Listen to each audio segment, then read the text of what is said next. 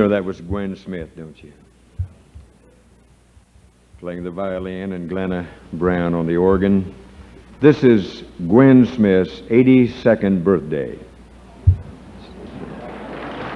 Amen. Stand up.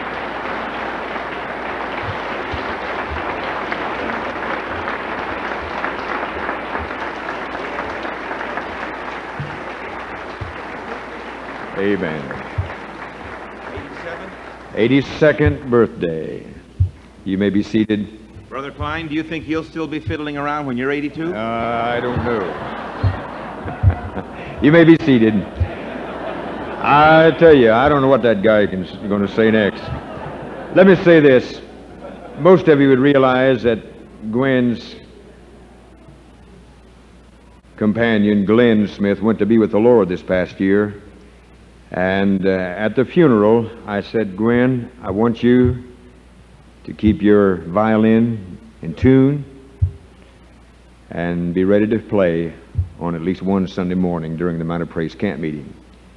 And I think she was a little reluctant because Glenn had been her support.